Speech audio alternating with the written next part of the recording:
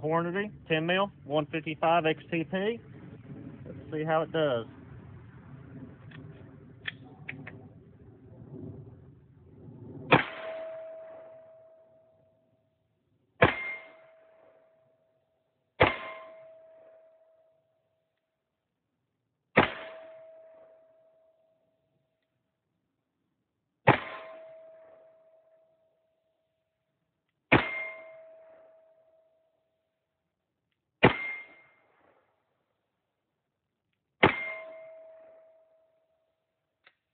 Go check out the target.